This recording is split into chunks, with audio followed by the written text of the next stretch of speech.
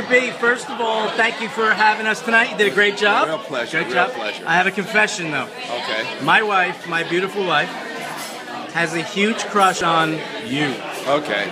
Can you uh, plant a quick one on her? Good choice. There you go. I don't know who's smiling more. Oh, I'm sure turning red, I tell you that.